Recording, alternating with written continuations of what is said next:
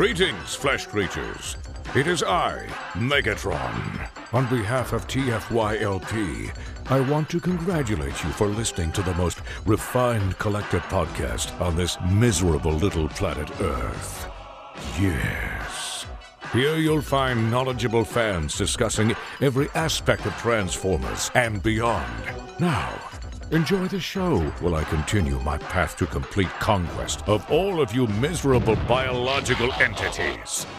Predacons, terrorize!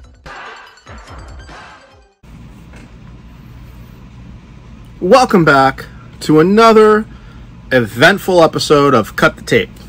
I'm Rick Alvarez. You know, last week we saw the release of Masters of the Universe Revelations. And there are a lot of people who are really butthurt about this show. But I'm not one of them.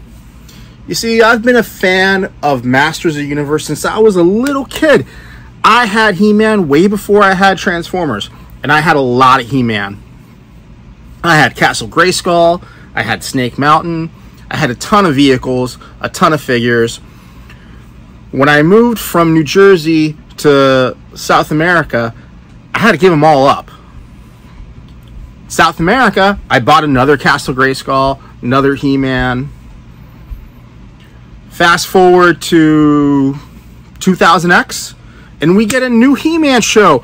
It was revolutionary. It was amazing. Was it He Man from from our childhood? No, no, it wasn't. Were people butthurt? No, they weren't.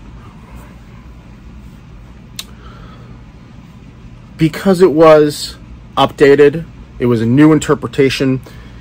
It was akin to Transformers Animated reinterpreting the entire G1 Transformers mythos and bringing it into a new generation.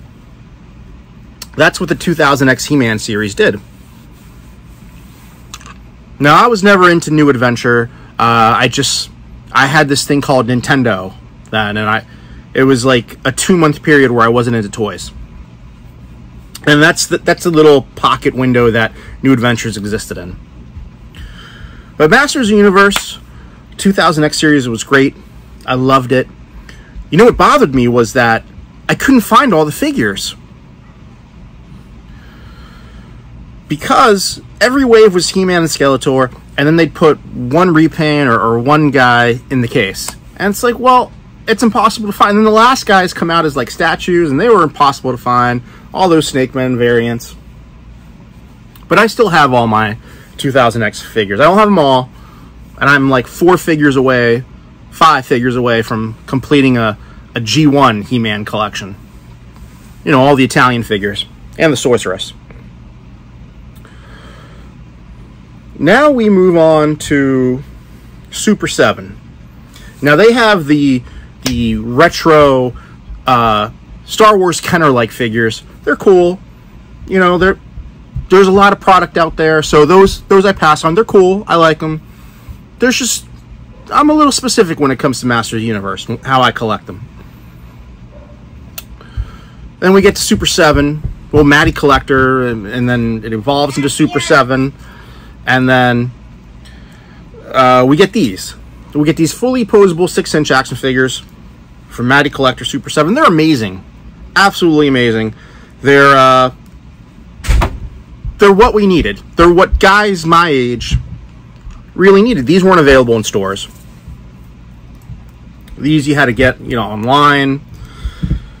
Subscribe to the to the club to get them. So the, these were amazing because they brought back everything that I remember as a kid, and they updated the way Chug Classics was an update for G1. The way the way Studio Series is an update for. I mean, look at this. This is a great jazz. It's a great jazz. It's not G1 jazz, which is great in its own way. It's dated though. Doesn't mean it's not good. It's just dated. We have jazz here. Fully posable, transforms, looks just like he did in the television series. It's great. Super 7 comes along. Hey, here's an extra head. Uh, you know, here's extra weapons. Here's a here's a booster pack with weapons. to make it look like uh, he had the weapons in the show or in the in the movie, whatever. So, uh, hang on, my secretary needs me. Thank you, Casey. Appreciate that. Uh, so then we go on. I mean, there's there's countless reissues. Every you know, there's there's Star Wars, Transformers, uh, He-Man reissues. Okay, every, every line that's important has reissues. All right, we get to these guys now. These are the vintage-looking figures with updates. Now, okay, sure, I'm gonna collect them. I'm not opening them. I have this one open because uh, I wanted to troop build those sky sleds. So I've I've got a I got a lot of Prince Adams hanging around. I wish we could all dress like Prince Adam. We'd all uh, we'd all be a lot happier. uh, so, Masters of Universe Revelations. My assistant Casey is here. Masters of Universe Revelations. Now, what are some of the complaints? The show didn't focus on He Man and Skeletor. They were in, I mean, He Man was in every episode. But let me ask you something. Does Transformers or Star Wars need to focus on Optimus Prime and Bumblebee to be good? Is Optimus Prime and Bumblebee, are they in Last Stand of the Wreckers? Is Luke Skywalker in Rogue One? You can make an argument that he's not even in the sequel trilogy. Darth Vader is not in the sequel trilogy. You can say that the Megatron we saw in the live action Michael Bay films wasn't Megatron. It's Megatron in name only. Mino. Doesn't mean those interpretations aren't good. Just because they changed the focus. The line isn't called He Man, it's Masters of the Universe. He Man is a top tier character, he's a tier A character, but he doesn't always have to be the focus. I think it was brilliant to allow the focus to fall on other characters to tell the story, the unconditional way of telling the story of the hero's journey. Now, yes, I think Revelations is telling the hero's journey of Teela, but the bigger picture, she's also telling it for Prince Adam. Teela's journey, she's about to become promoted to man at arms, woman at arms.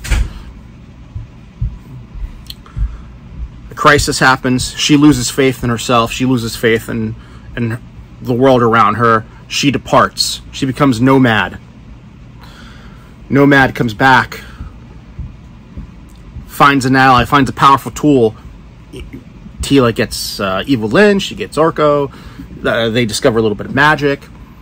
Hero's journey concludes with the power sword coming back. The, the hero now has their weapon and can conquer evil. But then it's snatched away at the last second by Skeletor and Prince Adam's dead. Brilliant take. Absolutely brilliant take. Brilliant take.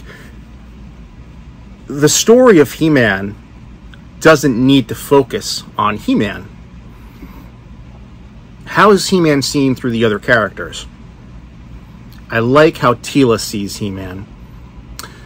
She sees someone who was great to the outside world but lied to her, wasn't honest with her. And sometimes it makes me think of a parent who's loved by the community, but at home, that parent is different to their child. And the way that child sees that parent is not the way the community saw that parent. And that's what goes through my mind when I saw that story. And I absolutely loved it. I absolutely loved that Teela was the focus and they were building a team around her and that team fractured and we don't know what's going to happen now. you know He Man's not going to stay dead, right? Yeah, yeah, okay. Spoilers. Yeah, Prince Adam gets stabbed through the heart, whatever it is. He died in, in the cliffhanger episode. It's He Man. It's comic book law. The hero comes back. We know that. That's part of the new journey, the new hero's journey. Die, come back. Happens to everybody. Optimus Prime dies, he comes back. Luke Skywalker dies, he comes back. It's the new hero's journey. So why are you upset? Why are you mad that another master of the universe is the focus? Enjoy the fact that someone cared enough about this brand to put this much effort into the animation, the casting, the direction of the show, the writing of the show, and the thought process of where the show can go to. Appreciate the fact that someone cares so much about a brand that has really not done shit in the last 30 years. Oh, you could say, yeah, you know, oh, we had 2000X, we had the reissues, we we had the microfigures, we got the Mega Block. Here's He-Man and the Masters of the Universe. Here's Star Wars and Transformers. Understand your place, Masters of the Universe fans. Be happy that you got something I'm happy as a Masters Universe fan that I got something. I wanted something. I wanted I wanted to spend more money on something. Be happy you got something to spend money on. I'm happy. I'm happy with the show. I got new toys, and that's what we're going to do today. I got new toys. I got new He-Man figures. Now, there's probably like 50, 50 or so He-Man figures I have yet to open from Super 7 and Matty Collector. That that's another issue I have to deal with separately in my life. But we got some new He-Man figures. I'm happy these exist. I'm happy they look like the show. I'm not crazy about the character selection necessarily, especially with Wave 2. Uh, we're getting a, a Spikor G- give me that Triclops, you know. G- give me Teela's new friend, uh, Adara, Adara. I, I, sounds like Adora. It's not. Give me that character. Um, so, Masters of the Universe Revelations. I couldn't be happier with the show. I hope I'm as happy with the toys as I am with the show. I'm back in the basement from Hawaii. I got good old trusty yellow. Let's open yellow up. Oh, by the way, Alan Oppenheimer coming back as Mossman. Loved it. Absolutely loved it. Woo! Uh, interesting choice with Mossman being in the first wave. I, I, I guess, I guess he's going to be, you know, maybe with a new head, a, a Beastman repaint. But you know, Beastman versus Mossman screen time in the show. I'm, I'm just throwing it out. You need balance, so two good guys, two bad guys. I, you know, I get it, but I, I don't know. I, I, I might have done He-Man, Teela, Skeletor, Beastman. I, I don't know. You know, Teela is, you know, a main character of the show. All right, here we go. Uh, you guys know me. I like to buy two of each. That's the that's the unwritten rule of Transformers. One to keep sealed, one to open. If there's a variant, obtain variant. One sealed, one variant open.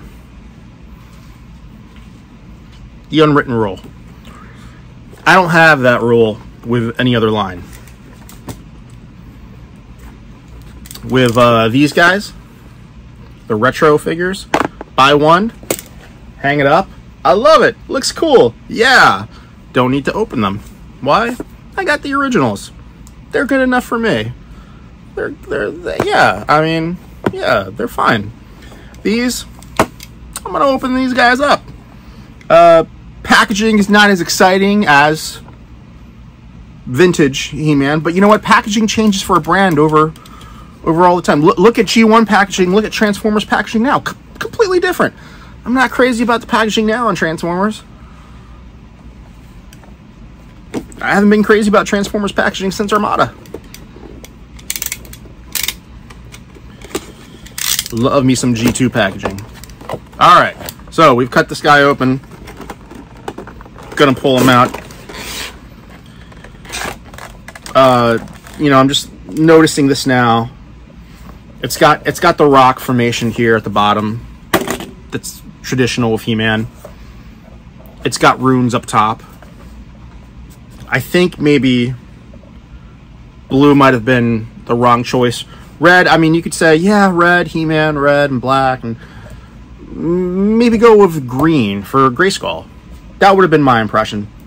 It, it's a minor critique. Again, if, if I were someone who said, hey, I got to display this in the box, and I want to look at that box every time I walk past this, this section of my collection room, I'm, I'm just making an observation. That's all. That's all I'm doing. I like the insert. It's Rocky formation. Cut it open. Use it as a play piece for your for your toys. You know, um, I'm not crazy about the packaging on Transformers, but I, you know, the difference between this and this, this goes in the recycling bin. This I can cut up and use as a display piece. So we've got our figures that tape down. It's not easy open. Let's uh, sample the bouquet.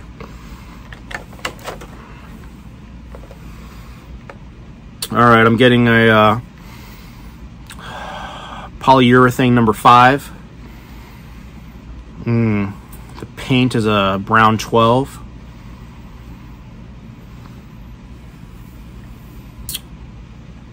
That's a orange 6 with a little bit of uh, yellow mixed in.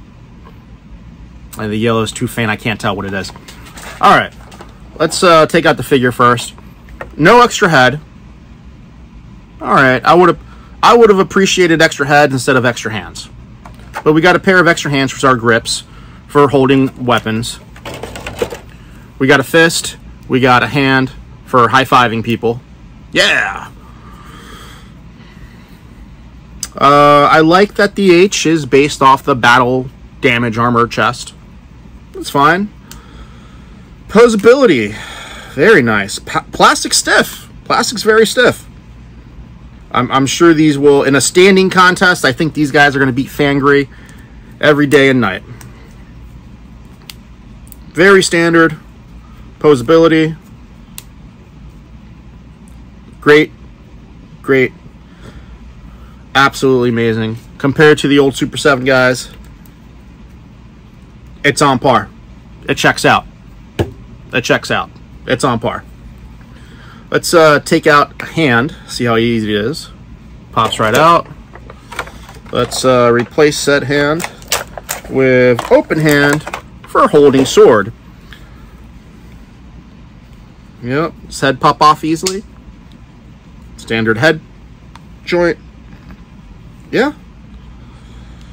Yeah, I'm not crazy about the face sculpt on this, but it is the first figure in a new line. Then again, it is your best-selling character, so not crazy about that head sculpt. Let's check out the sword, the most important accessory of any He-Man figure.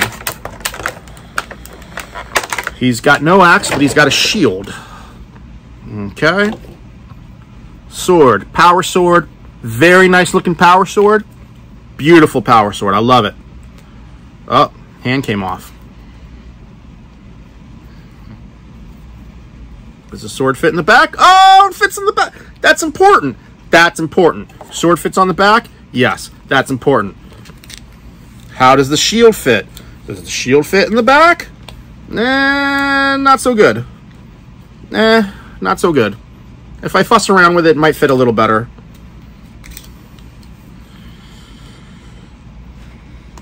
By the power of Grayskull, Thundercats, ho! All right. I'm liking I'm liking the way the shield fits. I'm liking the sword. It's a little, it's got a little bend to it. Not crazy about that head sculpt. Do not dig it. All right, He-Man. I want to check out Battle Cat. Battle Meow. If I were in charge of the Motu line,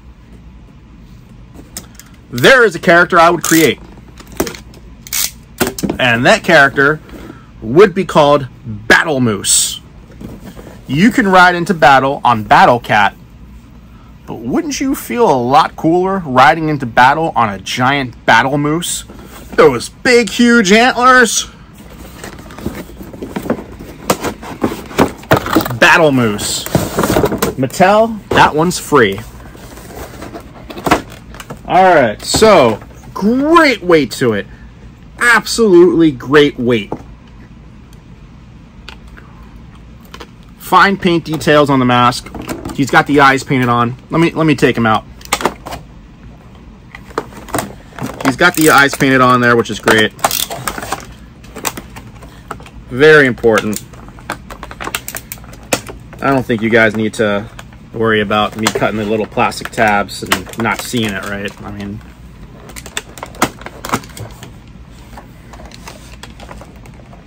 uh, see, I made the mistake of cutting towards myself. Never cut towards yourself. Always cut away from yourself towards your enemies.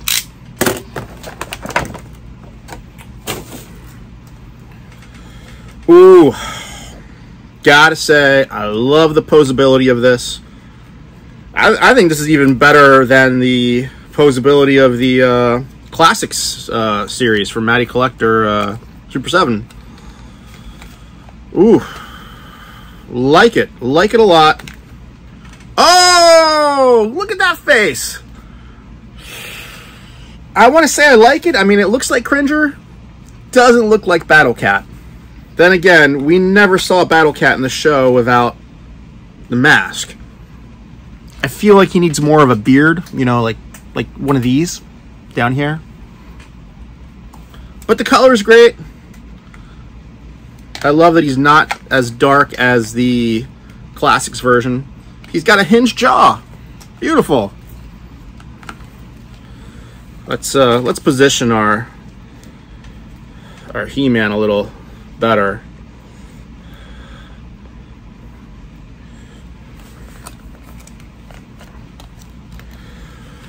Mmm.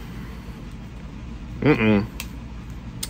Not not digging what's what's happening right now. Um hmm. Oh. Hmm. That's no bueno.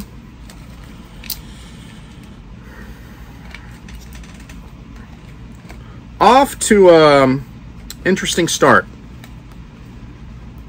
There's potential here, but the execution leaves something to be desired. Been watching a lot of that Gordon Ramsay Kitchen Nightmares. Man, that lady Amy is crazy. Ooh. I wonder if I mess around with him more, if he'll stay a little better? No. His legs are very far apart for being on Battle Cat. Because he's now he's like striding him. I don't. Then he. I, I think this is going to work better if he's standing next to Battle Cat rather than riding on Battle Cat. Uh, Battle Cat's great. I mean, I, lo I love the part. I, I love this. It's painted. It's soft rubber. It allows for some flexibility. Great detailing on the paws. Great articulation on the figure. It's it's just the the proportions are a bit off, or the articulation's a bit off, and getting him to sit tightly on the figure.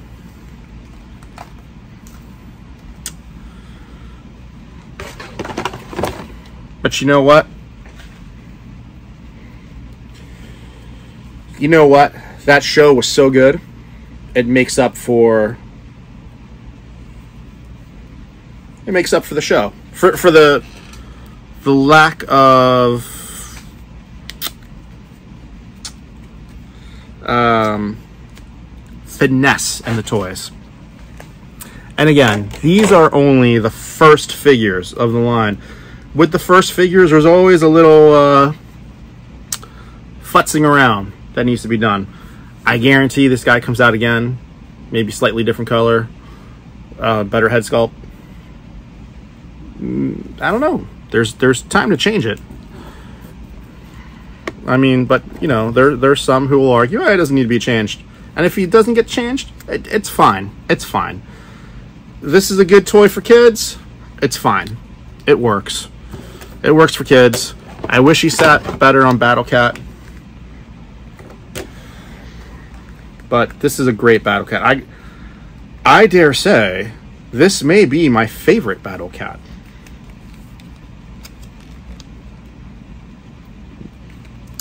It, it would be perfect if he would sit properly on it and maybe a little more, you know, whiskers. Head sculpt's great. It's got it's a little too cringery for me, but we're hiding it under this. So we're okay. Hey. Be nice to yourself, be nice to others, wash your hands, wear a mask, be smart, get vaccinated. Hey, you remember that time you got polio? No, because you got vaccinated. Don't be a dick. Get the shot. All right. We'll see you eventually on Cut the Tape. My name is Rick Alvarez. Check out the entire TFYLP network. There's the main show on Mondays. There's book club, microcasters, and other things. Other things happen. And I wish I had a list to have plugged them appropriately. Hey! Have a great weekend, everyone. Thank you. And remember, it's never too late to cut the tape.